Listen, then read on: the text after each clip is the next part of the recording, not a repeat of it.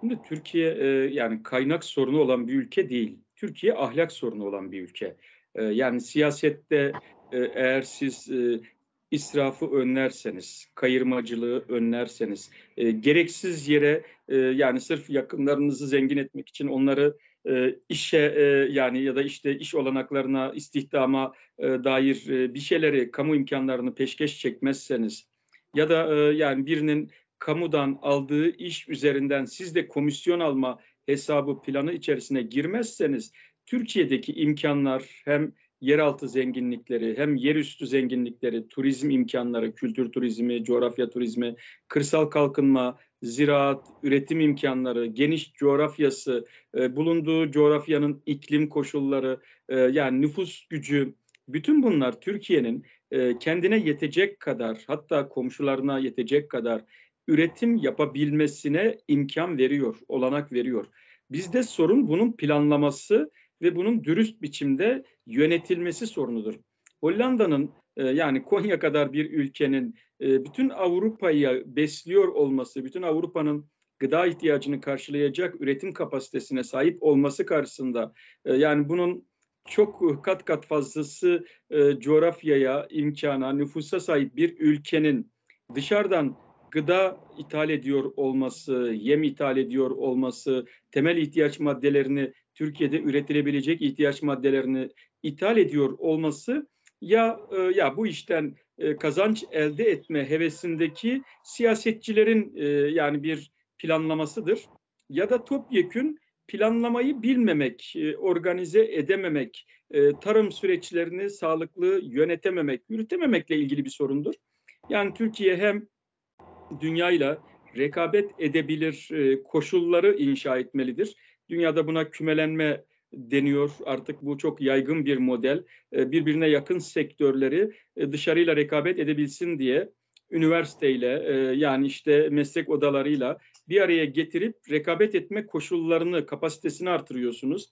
Bir bakıma, daha büyük ölçekli bir kooperatifleşme, bir dayanışma ağı gibi bir bu. Eee, ya bunun yanında tabii ki, eee, bölgesel kalkınma planları koymak zorundasınız. Yöresel kalkınma planları geliştirmek zorundasınız.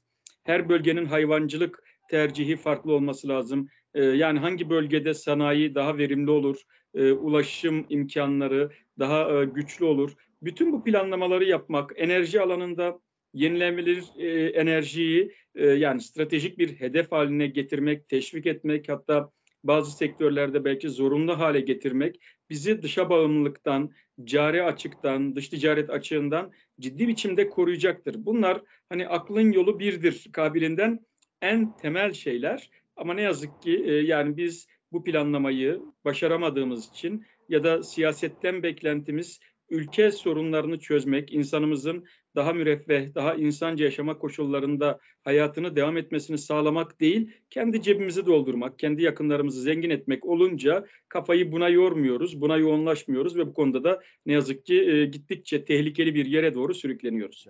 Ses Partisi, eee, yani Türkiye'de sessiz çoğunluğun sesi olma iddiasıyla, eee, kurulmuş bir, eee, partidir. Türkiye'de evet, bazılarının, eee, gücü sesini duyurmaya yetiyor, eee, ama toplumun büyük çoğunluğu siyasette, eee, varlığını gösterebilecek imkânlara sahip değil, zeminleri yok.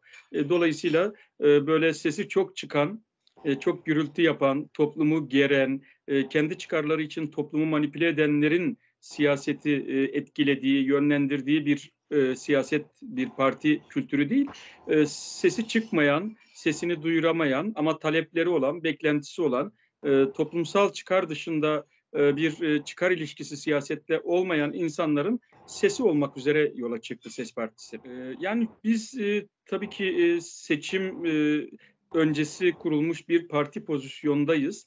Sonuçta, eee, kendi dar imkânlarımızla, kıt imkânlarımızla siyasi çalışmaları yürütüyoruz. Dolayısıyla da ilk seçime yetişmeyi önemli görüyoruz. Her şart altında ister zamanında ister erken olsun biz seçimlere girme şartlarını oluşturacağız. Eee, seçime girme, eee, sınırı olan, eee, 3'te 1, eee, ilçesiyle birlikte 41 ilin kongreleriyle, eee, birlikte teşkilatlanmasını tamamlayacağız. Eee, Ukrayna'dan tahıl ithal ediliyor ve bunu başarıymış gibi lanse ediyorlar. Ya, tabii ki Türkiye için, hani, eee, hem Anadolu e, tahıl konusunda buğday farklı çeşitler e, konusunda büyük bir potansiyele sahipken e, bu pozisyon tabii ki Türkiye açısından e, yani böyle çok sevilinecek bir pozisyon değil. Ama savaş dolayısıyla dünyada işte e, tahıl ürünlerinin en çok üretildiği e, işte Ukrayna'nın e, özellikle e, savaş dolayısıyla üretime katılamaması ya da dış pazara bunun ulaşamaması e, ya dünya için önemli bir kriz. Türkiye'nin buna e, aracılık etmesi ve dünyanın bir gıda krizi yaşamamasını yani dönek bir rol oynaması değerli. Ama esas itibariyle bu ihtiyacı e, Türkiye'nin de karşılayabilecek pozisyonu, potansiyeli olduğunu bilmek ve belki kısa vadede değilse bile orta uzun vadede e, yani stratejisini e, daha çok bunun üzerine inşa etmek de tabii ki doğru tercihtir. Evet. E, yani Türkiye siyaseti bir tıkanma yaşıyor, bir kutuplaşma yaşıyor. E, bu tıkanma, bu kutuplaşmanın topluma e, bence çok büyük e, bir tehdit oluşturduğunu, çok ciddi bir risk oluşturduğunu görmemiz gerekiyor. Ben birkaç kez daha önce farklı yayınlarda da söyledim. Bundan 110 yıl önce, 115 yıl önce e, Balkan Savaşlarını yaşadığımız dönemde de e, Osmanlı toplumu siyasi partiler yüzünden büyük bir kutuplaşma yaşadı ve bunun bedelini imparatorluk büyük toprak kayıplarıyla e, ödemek zorunda kaldı. Bugün de siyaset bizi birbirimize düşüren, e, içeride enerjimizi tüketen bir iş olmaktan çıkmalı. Tabii ki siyasi partiler olacak, farklı görüşler, farklı düşünceler olacak, farklı öneriler olacak. Toplumda kendi önündeki bu seçenekler arasında bir tercih yapacak. Ama e, yani bunu ne yazık ki başaramıyoruz. Çok partili hayatımızda buna dair çok kötü örnekler var. E, yani partiler bir yerden sonra e, güç sarhoşluğuna giriyorlar e, adeta iç savaş yapar gibi e, bir rekabet atmosferinde siyasete yaklaşıyorlar. Toplumun bazı kesimlerini ötekileştiren, düşmanlaştıran, rövanşist duygulara teşvik eden e, bir zeminde siyaset yapmayı tercih ediyorlar. Bu da ülkeyi ciddi bir riskle karşı karşıya bırakıyor. Biz bu gerilim atmosferinden siyaseti çıkaracak bir dili, tarzı geliştirmek istiyoruz. Evet. Son olarak seçmeninize ne söylemek istersiniz? Yani siyasi partiler üzerinden geçinen, nemalanan, siyaseti bir rant e, aracı haline dönüştüren yaygın bir alışkanlıkla egemen bir siyasi parti kültürüyle karşı karşıyayız. Ama sonuçta demokrasilerde yine e, parti aracı dışında bir araç yok. E, dolayısıyla toplumun siyasete özne olarak katılması, aktif katılması, siyasi sorumluluk alması, katıldığı partilerden hesap sorması, katıldığı partilerin karar alma süreçlerinde e, toplumsal iradenin egemen olmasını sağlaması gerekir. Herkes her gün her şeyden şikayet edebilir ama şikayet etmek tek başına sorunları çözmez.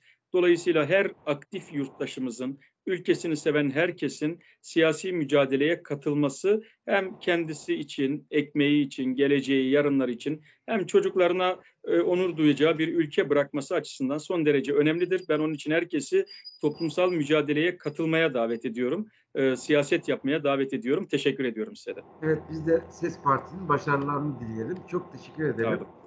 Hoşça kalın, sağlıcakla kalın diyelim. Teşekkür ederiz.